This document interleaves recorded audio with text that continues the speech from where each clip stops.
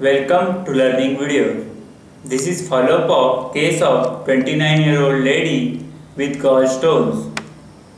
This is a case of long-standing cholecystitis with thickened wall and slush formation. The chances of obstruction are always there in these kind of cases. However, we decided to try medically.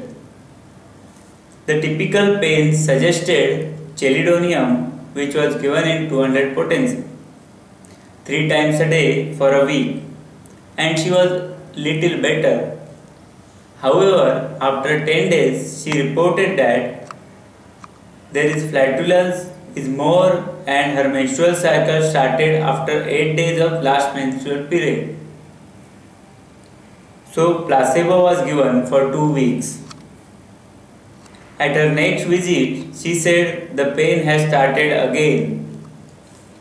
So that chelidonium 1m was given which gave no relief after a week or So So, as chelidonium was not acting, considering constipation, night aggravation and relationship with the chelidonium, Magmur was selected and it was given in 200 potency. The frequency and intensity of pain has considerably reduced. Now we are thinking of giving Magmur in higher potency to find out its effect on gallbladder pathology. Thank you.